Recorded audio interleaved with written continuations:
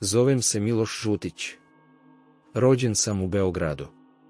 Roditelji su mi bili defektolozi i radili su u domu slepih. Odrastao sam u Zemunu. Sklonost ka glumi sam pokazao kao veoma mlad, pa ne iznenađuje što sam od srednjoškolskih dana bio član pozorišta Dadov. Potom sam upisao i završio Akademiju za pozorišnu umetnost u Beogradu. Diplomirao sam u klasi Mate Miloševića.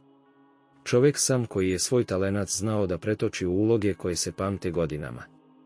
Odlikovala me je specifična boja glasa i savršena dikcija, pa sam često bio angažovan kao recitator i narator u filmovima i TV serijama.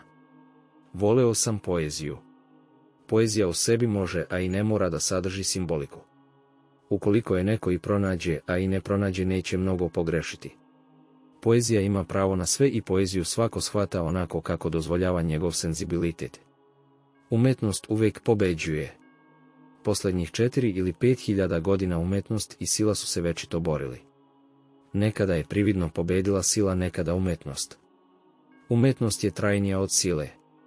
Prva svađa koja je u Grčkoj izbila bila je svađa između zakonodavca Solona i glumca Tespida. Mi glumci tu svađu i dalje nastavljamo. Za svoj rad i glumu mnogo puta sam nagrađivan. Osim po sjajnoj glumačkoj karijeri mene mnogi pamte i kao velikog zavodnika, o čemu svedoče i moje dve velike javnosti dobro poznate ljubavi Svetlana Bojković i Ognjanka Ognjanović. Prvo sam bio u ljubavnoj romansi sa Svetlanom Bojković i iz te ljubavi rodila se Katarina Žutić, naša poznata glumica. Nas dvoje smo se upoznali kada je Ceca postala član dramskog atelja Doma omladine Vračar. Tamo je počela kao asistentkinja reditelja, a zatim je igrala i mnoge značajne uloge, da bi kasnije uplovili u vezu. Udala se za mene kada je imala 21 godinu, a ja osam više. Bili smo nedozreli za brak i došlo je do erozije naše zajednice, ali ne i našeg ljudskog odnosa. Taj naš ljudski odnos nije izostao do kraja mog života. Kada sam se rastao od Svetlane, upoznao sam Ognjenku Ognjenović i planula je ljubav. Nas dvoje smo se iskreno voleli, a iz tog braka dobio sam još jedno dete, sina Đorđa. Kada sam preminuo, on je imao samo tri godine. Ognjenka je tada već imala iz prvog braka, sa baletanom Predragom Radojkovićem čerku Anju, pa su ona i Katarina Žutić kao male odrasle zajedno i uživale u svojim tinejdžerskim i devojačkim danima. Njih dve su krenule našim stopama i danas su veoma poznata imena na srpskoj glumačkoj sceni. Interesantno jeste da su Bojkovićeva i Ognjanka ostale u odličnim odnosima. Ostvario sam oko 85 pozorišnih uloga, dok sam od prve filmske uloge u filmu Ljubav i moda odigrao više od 100 uloga na televiziji. Našao sam se u glavnim ili epizodnim ulogama u ostvarenjima kao što su kamionđije grlom u jagode, pozorište u kući, kosovski boj i mnoge druge.